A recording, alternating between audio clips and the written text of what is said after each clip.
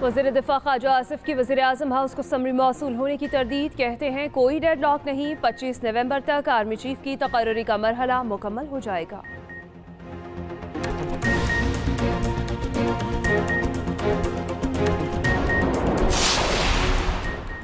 Army chief general Qamar Javed Bajwa के खानदान से मुतालिक टैक्स की मालूम गैर कानूनी तौर पर लीक होने का मामला वजर ख़जाना इसहाकदार ने सख्त नोटिस ले लिया। मुआवन खसूसी तारिक महमूद पाशा को 24 घंटों में जिम्मेदारान का तयन करके रिपोर्ट पेश करने की हिदायत।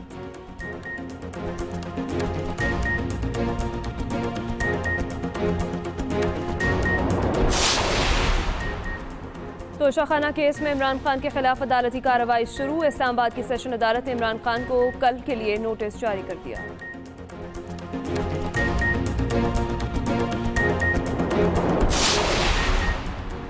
इम्पोर्टेड सरकार आवाम और इदारों को आमने सामने खड़ा करना चाहती है। इमरान खान की कारकुनों से गुफ्तु कारकुन 26 नवंबर को वक्त पर रावलपिंडी पहुँचे। पीटीआई रहनुमाओं की लाहौर में मीडिया से गुफ्तु